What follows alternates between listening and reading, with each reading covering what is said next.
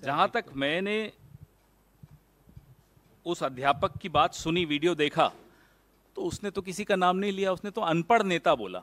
अब कोई पर्सनली ले लेता है तो उसमें तो कोई क्या कर सकता है? उनको क्यों लगा? उन्हीं के बारे में बात हो रही है।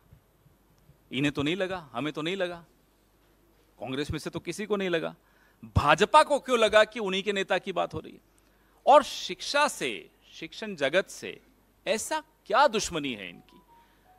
कि जब से सरकार में आए हैं साहेब यूनिवर्सिटीज के पीछे पड़े हुए